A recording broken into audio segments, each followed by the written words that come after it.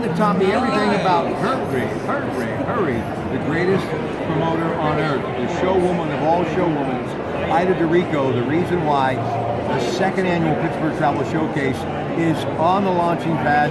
What a liftoff, and it's in another atmosphere and stratosphere.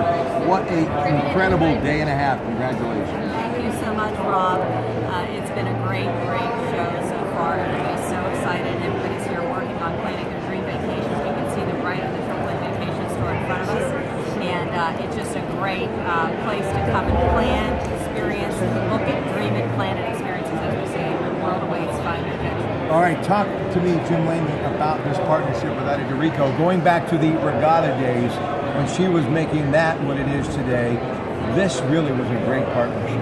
Well, Ida and I have had the uh, the opportunity over the years to work together on a variety of things, and uh, a couple of years ago now, uh, we, we kind of put our heads together one day and said, "How about something related to travel? We could probably do a show."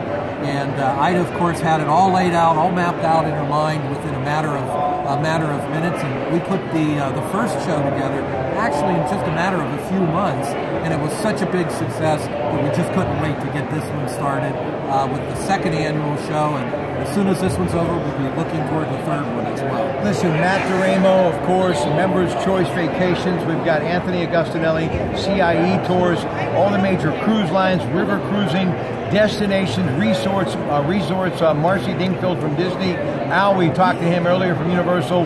This is the place, PittsburghTravelShowcase.com, to find out more. The rest of today into early evening and all day tomorrow, the David L. Lawrence Convention Center.